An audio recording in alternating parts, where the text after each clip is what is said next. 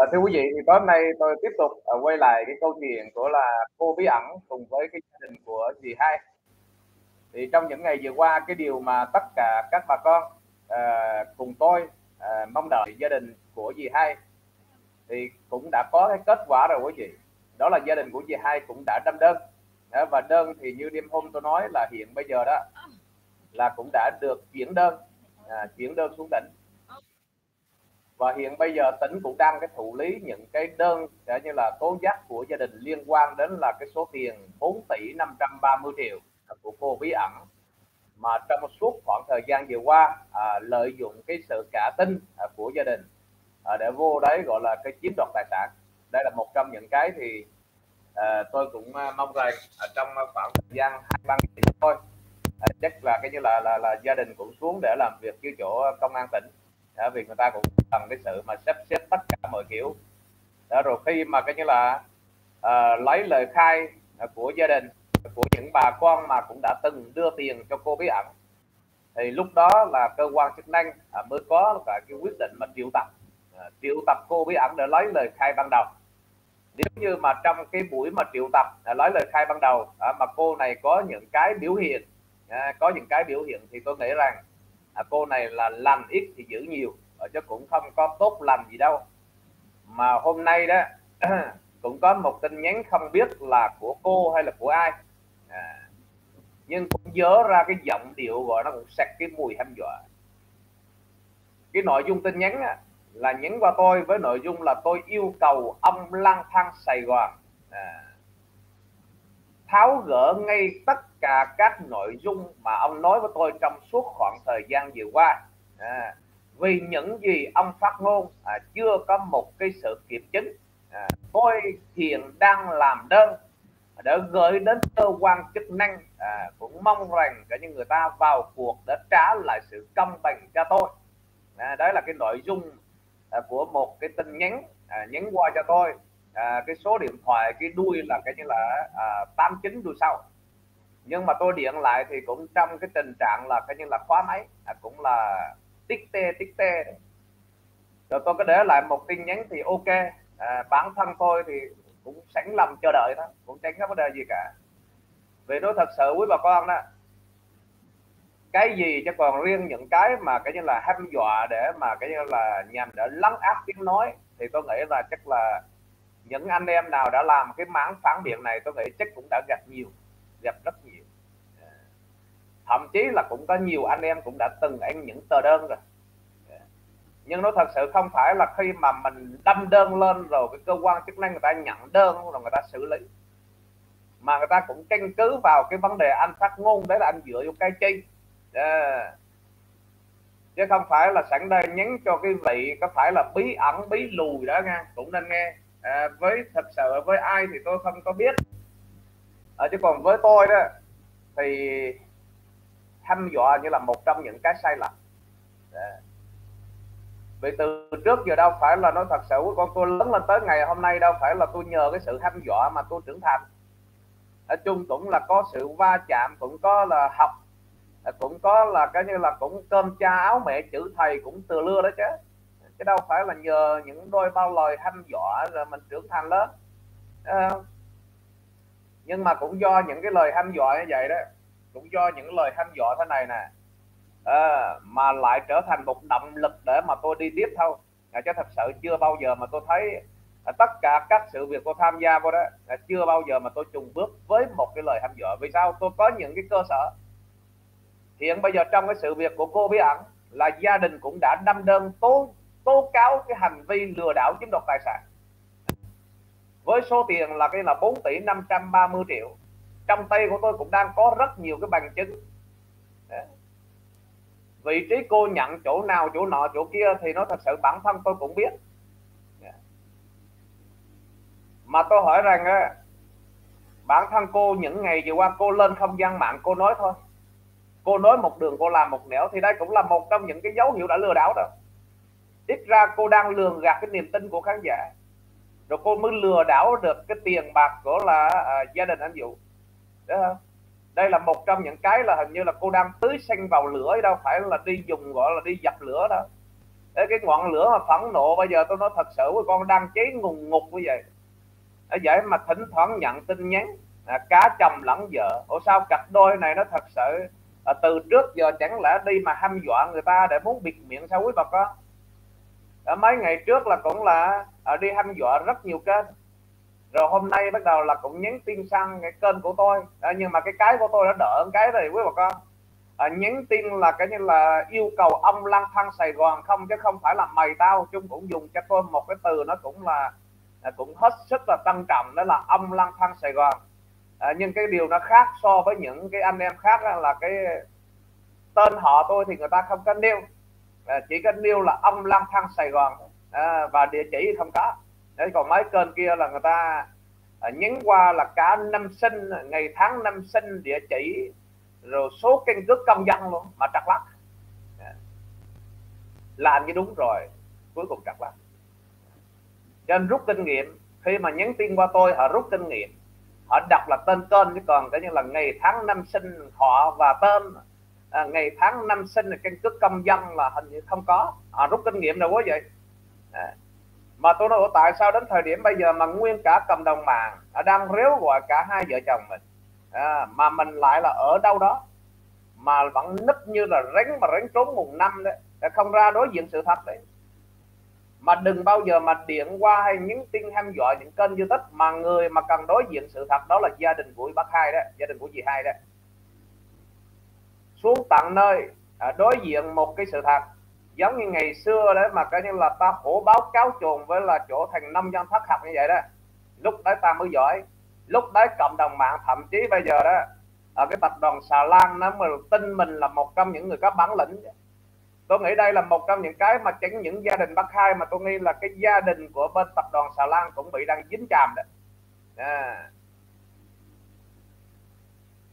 chứ đâu phải mỗi gia đình bác hai thôi đâu.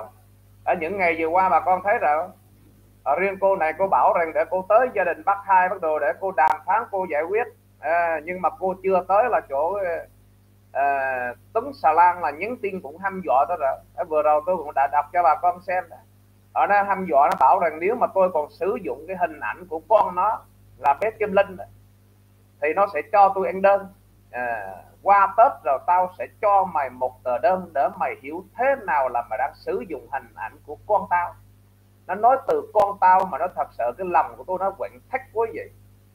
Không có người cha nào mà để cho con mình sống trong một cái cảnh mà nó khốn khổ như vậy. Đi học mà không có tiền để đi xe buýt. Không có người cha nào bây giờ con của mình đó à, nó đang đặt rất nhiều cái dấu hỏi liên quan đến cái chết của người mẹ. Và nó cũng đã từng đợi, đợi những cái tờ đơn à, để gửi ra ngoài kia để mong rằng có một sự chỉ đạo à, về địa phương để làm sáng tỏ cái chết của mẹ đó. Bản thân mình là một người cha mình là một trong những người đồng hành trên cái chuyến xà lan ngày định mệnh hôm đó. Mà con của mình nó thách mắc như vậy đó à, mà bản thân người cha sao thấy hình như là nó không có một chút trách nhiệm gì quý vị nếu như ai đó à, mà không phải là thành công, thì tôi nghĩ rằng à, ít ra hai đứa nhỏ bây giờ nó dù sao đó nó vẫn có một cái điểm tựa vững chắc đó là cái người cha. Chứ không phải là à, nó dựa vào cái sự mà cái như là eo ọt của bà ngoại đó. Bà ngoại bây giờ sức già đang nợ một đống tiền à, cũng vì cái chết của mẹ nó đó. tuổi thì cao sức khỏe không cái như là nó thật sự không ổn định à, công việc thì không có nếu như một người cha nào đó thì nó thật sự bây giờ đó đáng lý là cái bờ vai của mình để cho hai đứa con nó dựa vào. À, chứ không phải là bây giờ dùng cái bờ vai của mình để cho tiểu tam nó dựa rồi để cho con mình nó dựa vô một cái bà ngoại mà yếu đuối già nua như vậy đâu. Đấy không? Còn đi hăm dọa. Người ta lên là nó thật sự mày không biết là mày có tật hay là mày giật mình cái gì. Cái chuyện tao không có biết. Nhưng nó thật sự ra đó bản thân tôi cũng đang hưởng ứng cái lời kêu gọi của gia đình. À, đang hưởng ứng lời kêu gọi của bé Kim Linh. Cũng muốn có một chút lan tỏa để cho cộng đồng mạng chúng ta ai giúp được gì gia đình thì giúp. À. chứ mình đâu giả sử mình đâu có sử dụng hình ảnh con gái nó mình đi nói xấu cái gì mình nói những cái gì đáng nói thôi. Chứ khi mà nói thật sự mình đi nói xấu đâu có vậy tôi mà tôi đi nói xấu thì chắc là nguyên cả tập đoàn xà lan chắc không ai tốt đâu tôi nói thật nhất là cái bà mà gọi là bà gì đấy bà gì năm đấy mà cái ngày xưa đó mà cái là khuyên mẹ nó cho một tỷ để cha đi chơi đó. Đi chơi hết tiền rồi nó cũng vừa dưới mày thôi đó nó thật sự. À, một người gì mà lúc mà con châu dâu nó chết rồi bà kết luận là cái như là à, châu dâu của mình nó bị bệnh trầm cảm nặng À, rồi châu dâu của mình nó có uống bia uống rượu rồi đầu châu dâu của mình là lúc còn sống nó giữ một cơ số tiền và vàng. À, đến lúc nó chết rồi cái sách mà đục ra đấy thật sự có được 13 triệu. Nếu mà tôi nói xấu thì tập đoàn xà lan này tôi sẽ môi ra từng chút một như ngày xưa. À, chứ bây giờ nó thật sự những cái gì ngày xưa tôi môi tôi đáng môi rồi tôi môi sạch rồi. Nó không còn một cái gì nữa bà con nào mà xem nó lùng lại tất cả các phim ngày xưa thậm chí cái chi tiết mà lúc mà cái như là à, thành tuấn xà lan đấy à, lúc mà vợ nó lên đó, nó có, có chữ thề bà thúy nè kia những câu từ đó tôi còn móc ra được kìa. Đờ mờ đờ mờ. Nó còn chữ chữ thề bà thúy nè. Nó tại sao nó bà thúy rồi dắt chúng xuống đấy gọi là cũng cong lưng cong cổ nó cúng rồi tại sao bây giờ bà thúy là để cho vợ nó nổi rồi? Thế mà đây đâu phải nổi. Đây rồi dùng móc sắt cào lên. Đấy. Tội là tội cho bà mười đó quý vị. Bà con biết là sao tội không? Bà cũng vì mà nghe thằng cháu đó mà nó thật sự bà cũng chấp phao câu lên trời mà cái đầu cả như là chuối xuống đó xà lan đó. Mà cái phao câu dính lên trời mà bà lạy như là bữa cuối vậy mà nói thật sự nói lên là nói thôi cao là nói thôi. Dạ.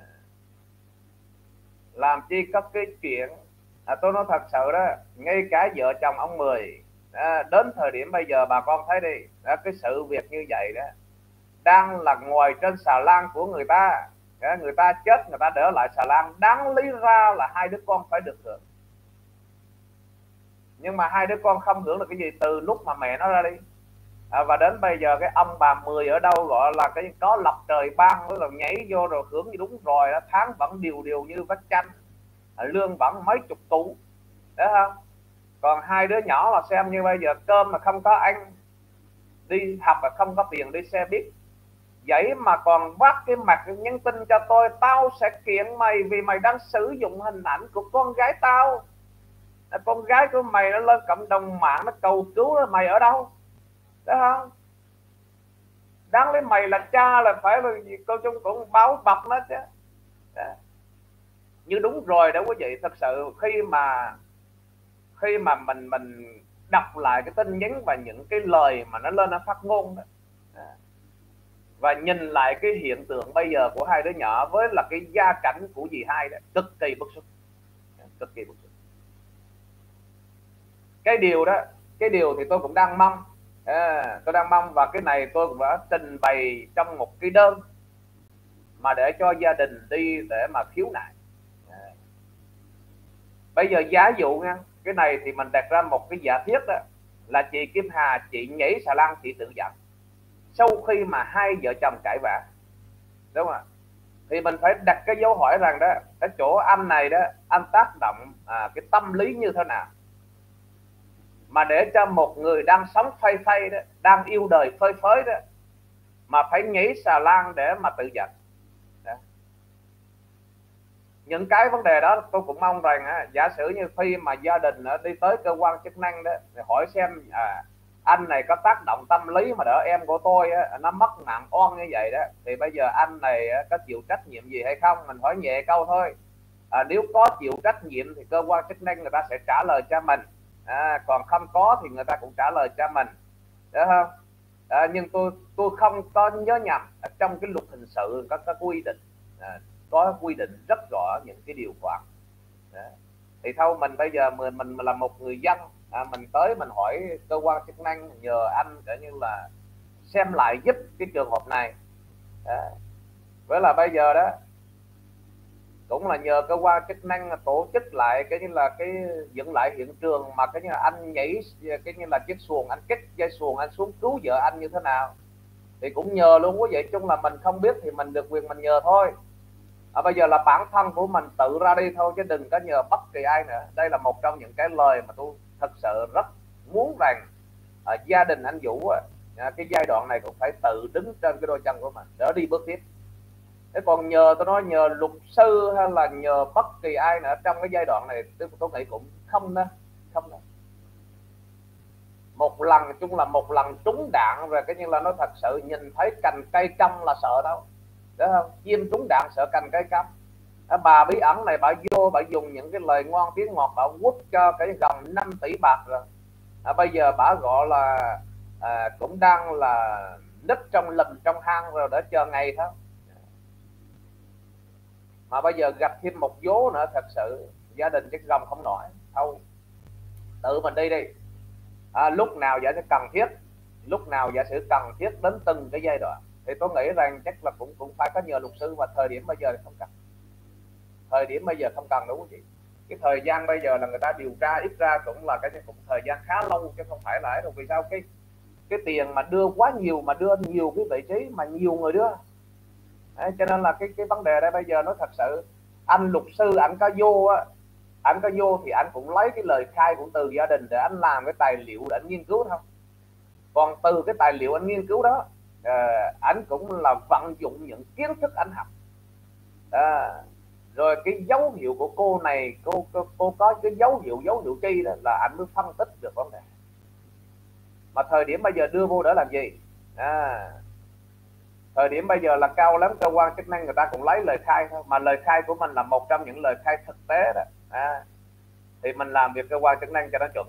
Dạ, chứ còn nó thật sự thời điểm bây giờ nó để luật sư đại diện nữa, tôi nghĩ là cũng là sai bài nữa